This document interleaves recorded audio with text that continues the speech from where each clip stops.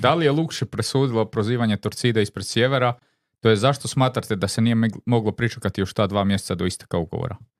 Mislim, ovo za ugovor smo rekli, Zato, evo, da. Torcida. A Ja mislim, da je to... mislim da nije, ali, ali dosta je dobro bilo kako je to, kako se pozicionira, kako je ispred tog sjevera cijelog razjebanog, totalno nema nikakvih stolica gore sve dole. Aj, knedla u grlu, brate, ona. Ne, Ne, ma on je talentiran. scenski je to odrađeno. Ne možete, ne, njemu se svašta može prigovoriti, a on je talentiran za populizam. I tu isto kapa dolje.